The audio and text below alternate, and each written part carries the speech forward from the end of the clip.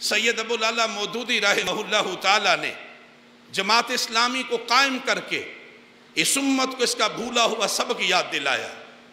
اس امت کو پھر سے اس کے اصل کی طرف اس کو لگانے اور اس کو پلٹنے کی طرف متوجہ کیا۔ جماعت اسلامی روئے زمین پہ، پاکستان میں، اللہ کی دھرتی پہ۔ میرے بھائیو، اللہ کے دین کے غلبے کی تحریک ہے۔ اللہ کے کلمے کی سرفرادی کی تحریک ہے۔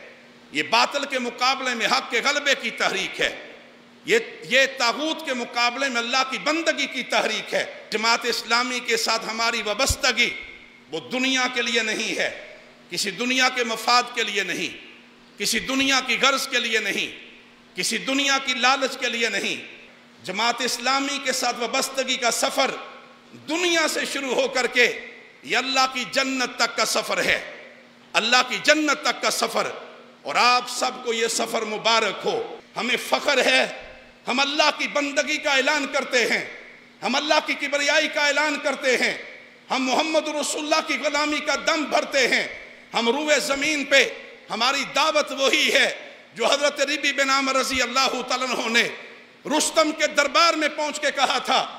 بظاہر کپڑے ان کے پھٹے ہوئے تھے۔ ان کے کپڑوں کو پیوند لگا ہوا تھا۔ لیکن جب رستم نے پوچھا کہ تم چاہتے کیا ہو؟ انسانیت کو کیا دینا چاہتے ہو؟ حضرت ریبی بن عامر رضی اللہ تعالیٰ نے پکار کر کے کہا، انہوں نے کہا، سنو ہمارا پیغام کیا ہے؟ اخراج العبادی من عبادت العبادی الى عبادت اللہ۔ ہم انسانوں کو انسانوں کی غلامی سے نجات دلانا چاہتے ہیں۔ انہوں نے ایک رب کی غلامی میں دینا چاہتے ہیں۔ ایک رب کی غلامی میں دینا چاہتے ہیں۔